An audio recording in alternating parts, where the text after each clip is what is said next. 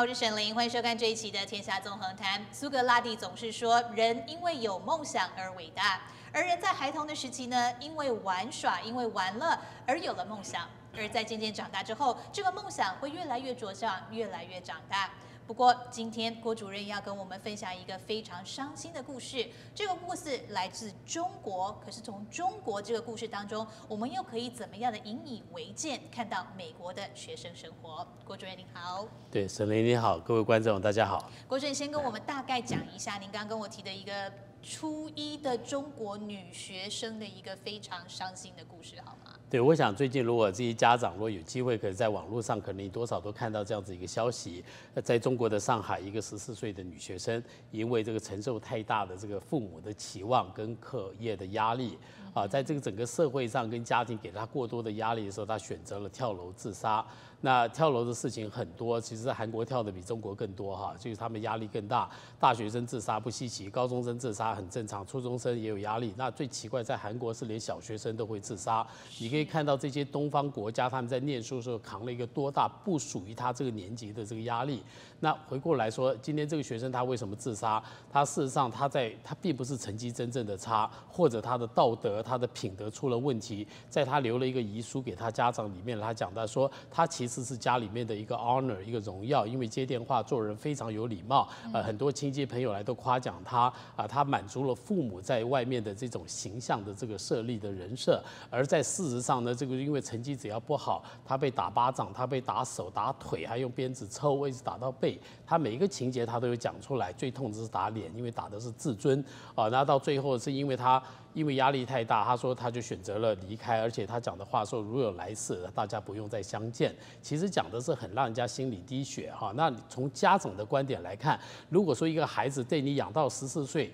他所有他说一个人被毁的最大的地方就是你只要毁掉他的童年，他这一生都毁了。那我觉得这个问题是难值得就是在今天在这个节目里讨论一下。让家长更清楚看到，当这整个升学竞争，你看到的不应该只是分数，你应该看到孩子心里面的挣扎跟他的呐喊。那你如果不能帮他，那你至少不要再加剧他这种说人生最后从一个正面的想法慢慢走向中性，再走向负面，最后走向毁灭。那养孩子养到最后是他失去了人际关系，失去跟你的亲情，最后他失去了生命，我觉得都不太值得的。嗯哼，其实这个是非常令人痛心的一个事情，尤其是您刚刚提到，其实她是一个十四岁的一个小女生。其实，在节目之前，我们也看过这个视频，也看到她的遗书。我看到她的遗书，我觉得她像是一个八十四岁的一个经历了人生冷暖的一位很有智慧的一位女人。嗯，为什么这么说呢？因为她字字。珠玑呀，把自己遭受到的整个事情完整的写了一次。可是，就算遭受到了之后，他还把自己的压岁钱还给了爸爸妈妈，觉得哦，就是你养我、生我的钱，我还给你。还把奶奶也都想到了，最后是提醒到爸爸妈妈，希望不要像对他这样的来对弟弟。对，想的非常周全。十四岁的我们。我们好像没有那么大的课业压力，可是亚裔的家长们会不会也把这样的情形投射在美国的学生上面呢？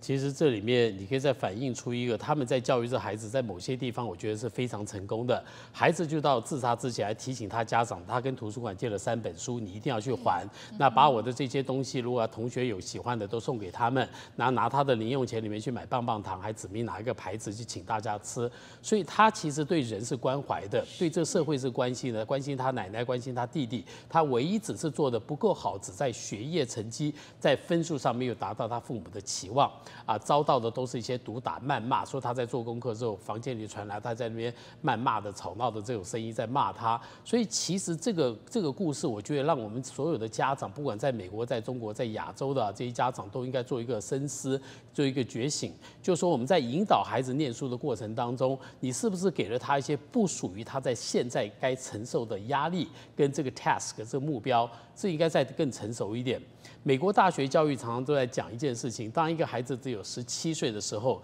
要他决定人生的目标，选大学、选科系、选职业，甚至选这一生的发展。那你想想看，你要他在申请大学填表的时候选，那你之前给了他什么辅导？Nothing，你没有哎，你只叫他逼他念书、念功课，也许成绩都是 A。对我有很多学生 straight A，SAT 考得很高分，可是对人生完全是无一无所知，自己不知道自己要什么，要做什么。所以在这个盲点在这上面来讲的话，其实很多的孩子他是有视视力上没问题，可在视野上面，在 vision 上面是有问题的。嗯，我觉得这个讲到一个非常重要的重点了，就是最近 Northern Michigan University 里面有一位 English professor，这个 English professor 呢就把您刚刚提到的这个学生他可以拿 straight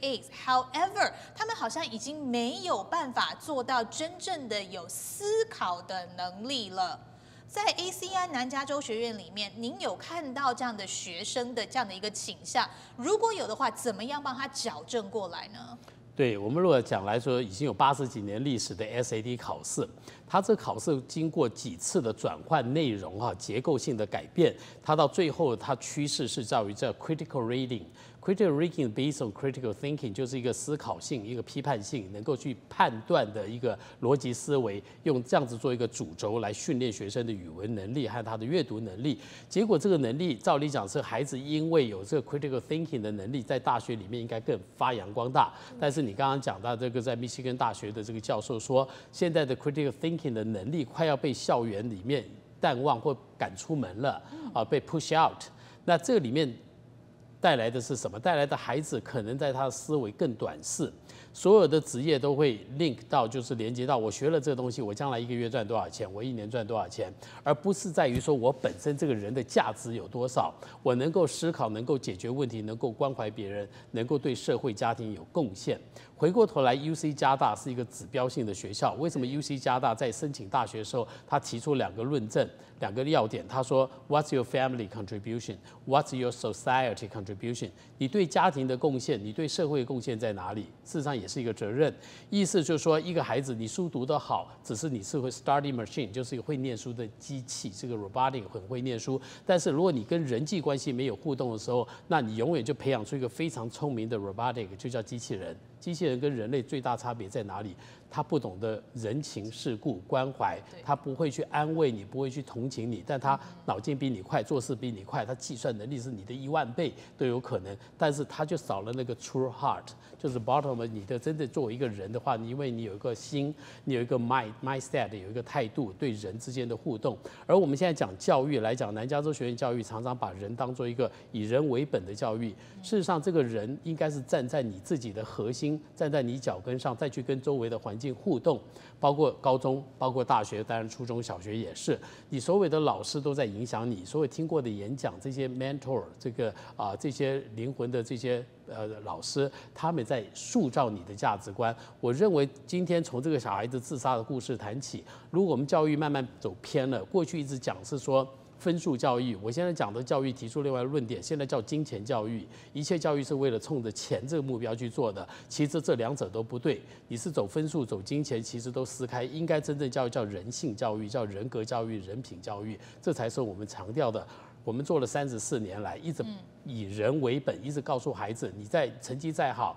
抵不上你孝顺父母，抵不上你关心你的家庭，关心你的 community or your country。他说这些价值观其实才是大学跟整个社会、这个国家或者是大的企业所中真正重视的。而这些教育常常在学校的教学体系是没有办法体现出来。对，其实郭主任一直在灌输我们一个观念，就是以人为本的观念，如何发自内心的去关怀他人，如何去孝。顺父母如何真的去把同理心的去对待其他人？However，爸爸妈妈可能因为从小看这个小朋友长大，他没有办法跟孩子们真的是用同理心去对待。他唯一能看到的就是分数啊！怎么在怎么样能够在分数，还有在同理心跟以人为本这个大环境，甚至是大学想要看到的东西当中，找到一个折中点，让大家都有一个 happy ending，不要有这样的 sad story 再 happen again。对，其实我觉得人跟环境的互动啊，常决定你的位置、高度跟价值。所以我刚刚讲到，人都有视觉、视力，可是没有视野，就是说，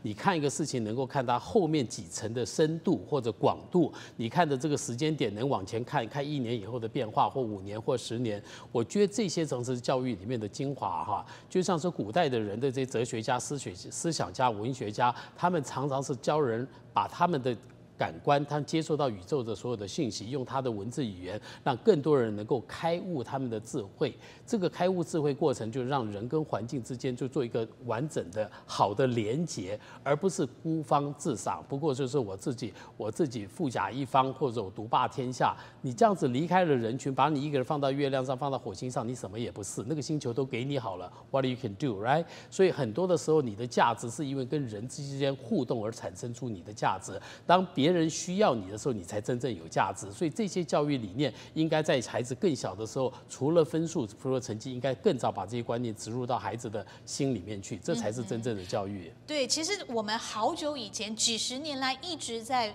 讲的一句话就是，其实孩子就是一棵树苗，怎么样去灌溉，他就会怎么样的长大。而今天郭主任三十四年的教育经验又再一次验证了，其实每一个孩子都有他属于的梦想，每一个孩子都是那一棵幼小的树苗。您要怎么样去栽培他，才可以让他成长茁壮，让他的树荫可以再照到下一代，这就是您的责任了。